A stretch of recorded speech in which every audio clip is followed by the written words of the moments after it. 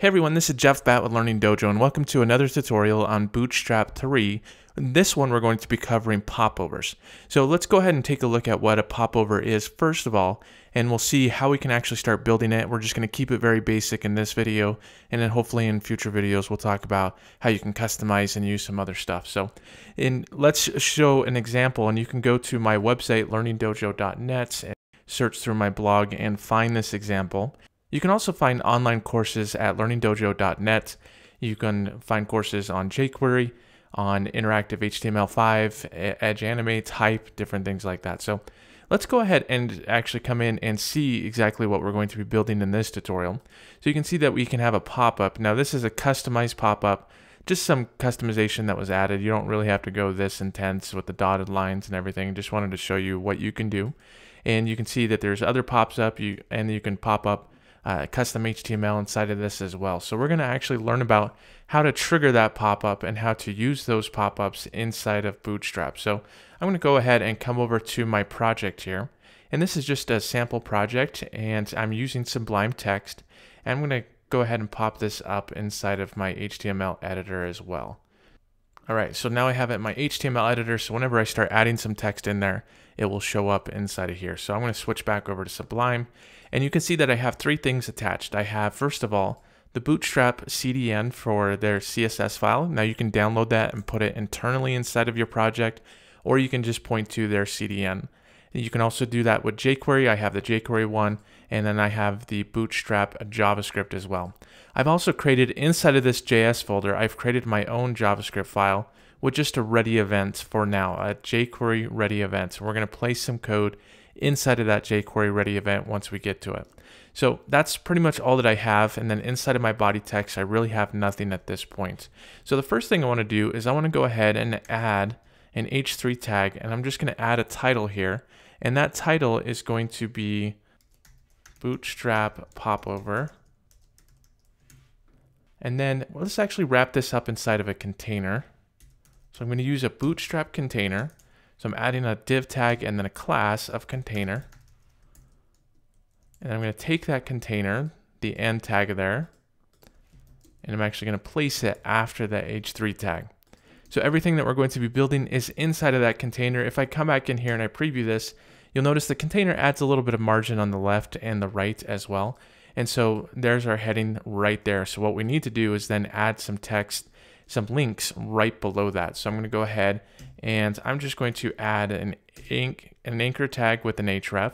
And let's go ahead and right now I'm just going to add a pound sign. I, I don't really have any place that that's going to go to at this point. So I'm going to go ahead and just leave that as a pound sign. Now what's important with the popover is I actually have to add on some data tags. So the first data tag that I'm going to add is going to be a data.toggle equals, and then in quotes, I'm going to go ahead and say popover. Now this really could be whatever you wanted to name it. It's just, it's important to know whatever you name it here is going to be inside of the JavaScript.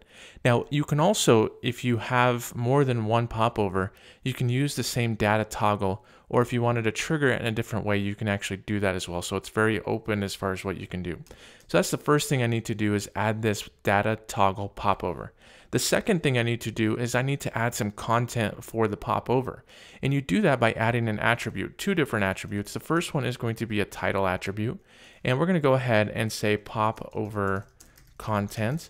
And the second one is going to be a data dash content. So data dash content. This is going to be what's in the content section of the popover. So I'm going to say equals and then two quotes there. And then I'm going to say this is the content section for the popover.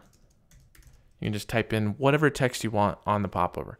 Now the anchor tag needs to have some actual text in there. So we're going to say toggle, let's call this one regular popover. Excuse my typing. It's hard for me to see the keyboard here. So there we go. I think we're good there. If I was to preview this, all I would see is actually a link right there. So it really doesn't do anything at this point. What we need to do at this point is we need to add some simple JavaScript inside of our JavaScript file. And the simple JavaScript that I need to add is just a pop or something to trigger the popover.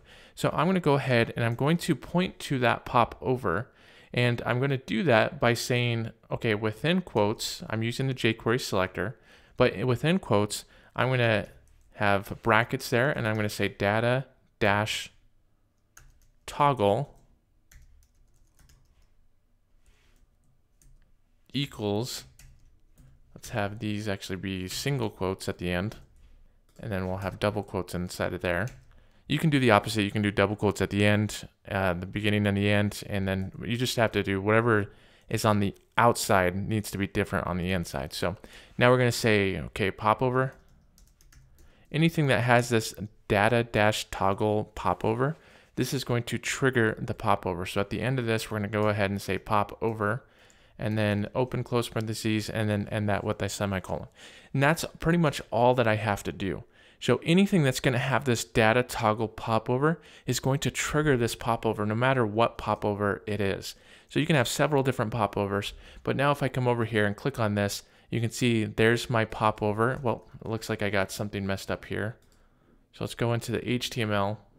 Oh, looks like I misspelled content. All right, now let's try this again. There we go. So we have our popover title and then we have our popover section. So that's a simple initial popover. If you wanted to trigger that popover, this is how you would do it and this is where you'd place your content. Okay, so right now I have my content popping over on the right hand side and that's what it usually does by default. But let's say I wanted to have this pop over on the bottom or the top or the left. Well, you can do that with another attribute by saying data dash placement not an equal sign, a dash. And then we're going to go ahead and we're going to say bottom. Now if I hit refresh, come over here and click on the button again, the content is now placed below the actual link there. Now I can also specify where exactly I want this pop-up to happen. That's up to you, but for now that's actually the placement I can place at the bottom, I can place at the top, I can place on the left, I can place on the right. Those are my different options. For now, that's just, uh, I wanted to make sure that you're aware of that. But let's go ahead and actually show how to trigger it just on hover. Because right now I have to actually click on it for it to pop up. Let's say once I hover over it, let's say I want that to actually pop up on hover. Well, I need to come in here and add one more attribute. So I'm going to come in here and add another attribute. And I'm going to say data dash trigger.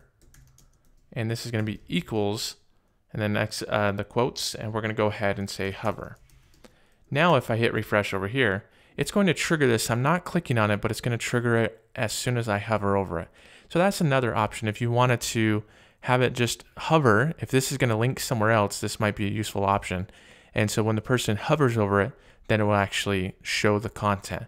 Now, if I move my mouse out, the nice thing is that content automatically goes away. I don't have to click the button again. Let's say I didn't want to have all my title and my content all in the same area. So if you have that all inside of the attributes, it could get pretty messy. So I'm going to go ahead and remove that. And I'm actually going to add my JavaScript.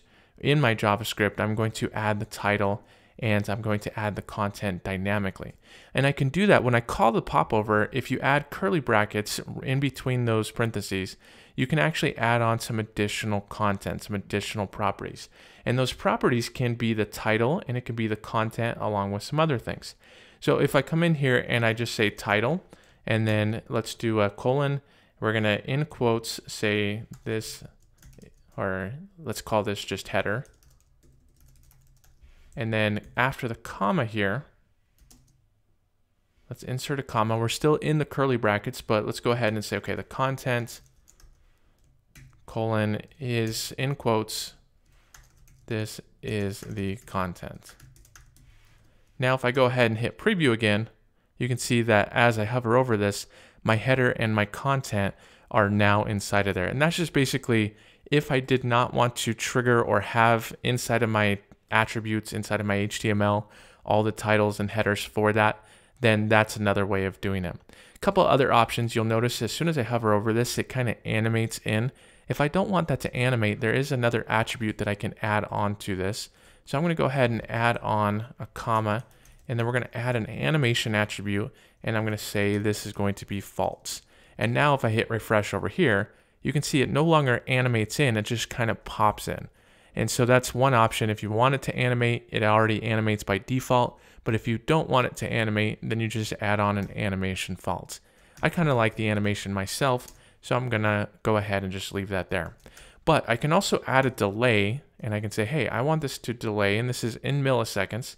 So I want to delay this for a second here.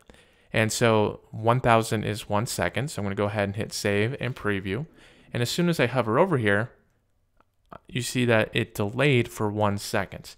You can also delay the hiding of the object as soon as you move out. You can delay that if you wanted to as well. So let's go ahead and add on one, one more attribute and I'm going to say hide and that's also going to take a second to hide as well.